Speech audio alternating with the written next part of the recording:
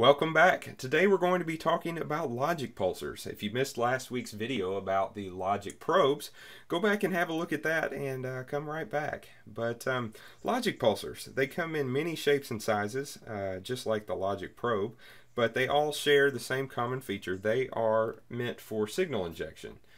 Um, most of them have a single shot and a multi-shot function. Um, and they are used for injecting signals into the board that you can pick up with your logic probe. So when you use the pulse, you can see that the logic probe picks it up. Now to demonstrate what this is good for, um, say we are interested in this chip and we're wondering if it's any good or not. Um, so we pull up the data sheets and we discover that we should be able to put a pulse here and have it pick up here if the chip is good. Now that's a very generalized idea there. Um, but you can see that uh, the pulse is going through the chip as, uh, as it's supposed to. Now another thing you can do with this is you can inject a signal and then see if you can find it later. Um,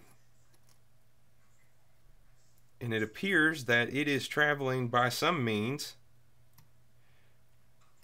from this chip to that chip.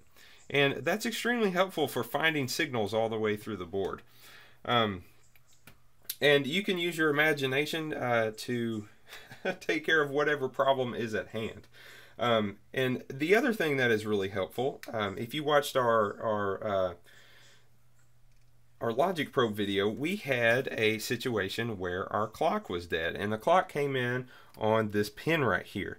And um, if we're wanting to make sure that something is working down the line or we need to disable it, we can use the multi-burst function to inject a slow clock signal into the um, into the board and help us find out what's going on. So anyway, I hope that helped you uh, understand the logic pulser. It's an extremely useful tool, and uh, I hope you like the video. Subscribe if you want to see more videos, and we'll see you next week. Thanks for watching.